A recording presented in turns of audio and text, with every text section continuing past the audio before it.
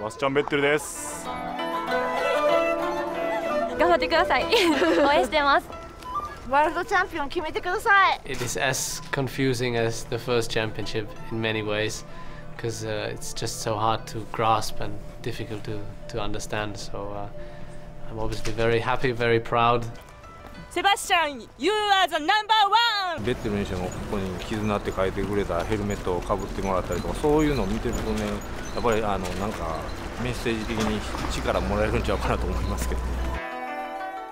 The sign on top of the helmet, which uh, means Kizuna, stands for friendship, bond of friendship, so people sticking together um, even if times are difficult.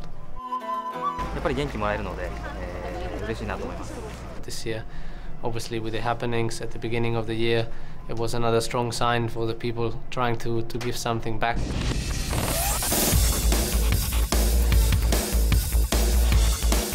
Fernando Alonso, Jenson Button, Lewis Hamilton, Michael Schumacher, they're all current, all, all reigning uh, or champions that have, have achieved that in the, in the past. And um, you know, to beat those guys with the level of dominance that he's achieved is something quite phenomenal.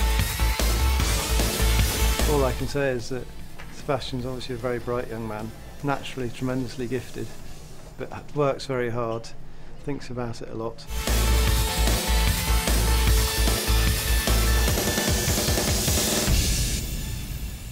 Special to wrap it up here and um, in particular to come here this year because um, you know it, I think it, it is the least we can do to trying to give the people a little bit of a smile back.